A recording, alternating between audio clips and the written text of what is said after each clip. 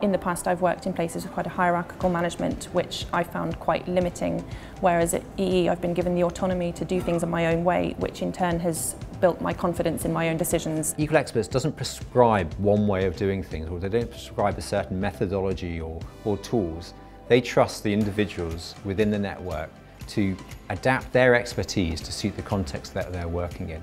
It provides uh, a safe workplace um, and gives people the freedom to be who they are. It has a very flat structure, so it gives um, everyone can really think for themselves and take initiatives.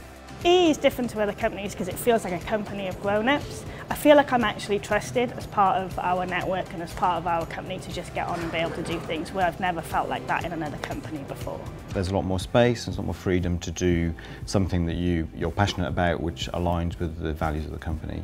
So I can't think of another, another company where I'd have been able to say to the founders that, hey, I've got an idea, I'd like to open an office in Wales um, and be given the space to spend a day a week or so doing that for a year and then kind of once that gets some traction actually may allow me to actually follow my personal ambitions of moving back to Wales and align that with a, a, an, um, a professional ambition of opening an office which also has the benefit to equal experts as well and to be able to do that with guidance but without micromanagement and with support has just been great. Is the way that EE treats both its uh, network associates as well as its clients. So everyone is expected to be a grown-up and is also given the space to be a grown-up. EE really cares for um, their employees and, and their associates and I think it's you can really see it.